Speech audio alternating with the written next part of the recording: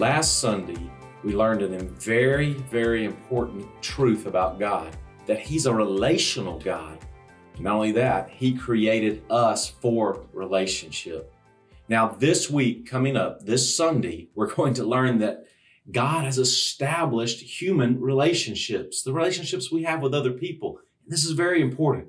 See, after creating Adam, God said something very important in Genesis 2:18 when he said, "It is not good for man to be alone." Therefore, God created Eve. And in doing this, he established the very first human relationship. You know what that's called? Marriage. Marriage was the first human relationship. Now, we have some challenges with that today because so many people see and realize that marriage is a challenge. It's hard to make it work.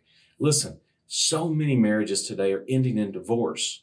But isn't it amazing to you that despite all of the divorce, all of the challenges, people continue to get married? Why is that? It is because God has made us for relationships, beginning with marriage. And because this is true, we're going to take a deep dive into an understanding of why and how God created us for relationships. So we understand the purpose and the value of this original uh, relationship that He created called marriage. And these truths are so important. We need to receive them, we need to live them, and we need to give them to other people.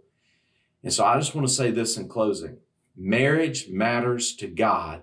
And so if marriage matters to God, it should matter to us. So I want us to look at these things closely. I want our marriages to be enriched. If you're yet to be married, listen, you should take these truths to heart because you're going to need them. It's something God established, God gave us, and we need to strengthen our marriages so our homes can be homes that honor God. Because as we build strong homes, we can build a strong church for the glory of God.